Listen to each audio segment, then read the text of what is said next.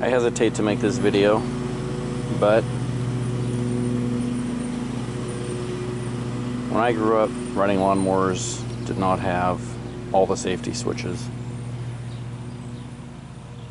You had to know how to operate it so you didn't get your toes cut off or your hands cut off. And for the most part, most people didn't lose a limb mowing the grass. But now they're covered in safety switches. There's a safety switch for the seat. There's a safety switch that keeps you from starting it without pressing the brake. There's a safety switch for backing up while mowing. You can't back up while mowing. And I've had this lawnmower for going on 20 years at this point. And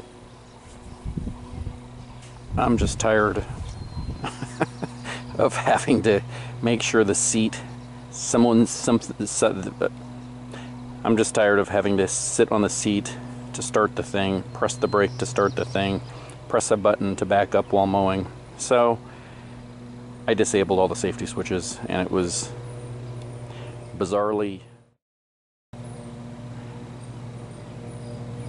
and it was much easier than I thought. The seat switch, you literally just have to cut it off. The brake switch that keeps you from starting the lawnmower without pressing the brake is right back in here and I snaked it through the other side here and have it here. To bypass this connect the two purple wires. I used a little metal clip and electrical tape. Connect the two purple wires. You won't have to press on the brake to start your lawnmower. The press a button so you can back up switch while mowing is as easy as connecting the two wires with a piece of metal and using electrical tape, sealing it up. That is all it takes to disable these three switches. That said, if you have any doubt about being able to safely use a riding lawnmower with those disabled. Do not disable them. If you're afraid someone in your house will ride it and not know how to safely use the lawnmower, do not disable them.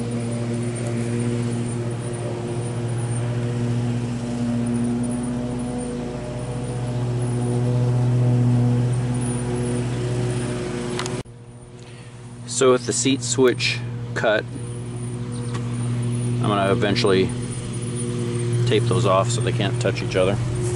With the brake switch shorted out, shorting the two purple wires out, and with the can't back up and mow without pressing a button switch shorted out. Let's see how this starts with me standing off to the side with my feet well away from the blade.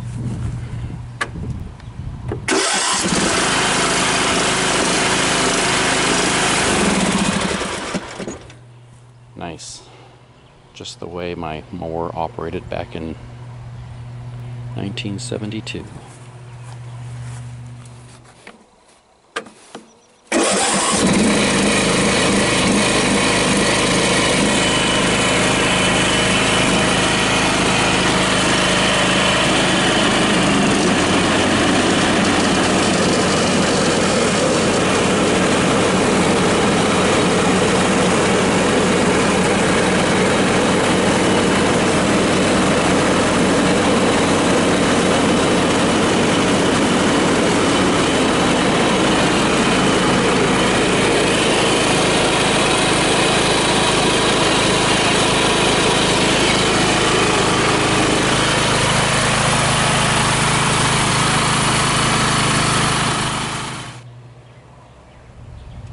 You go. Happy mowing.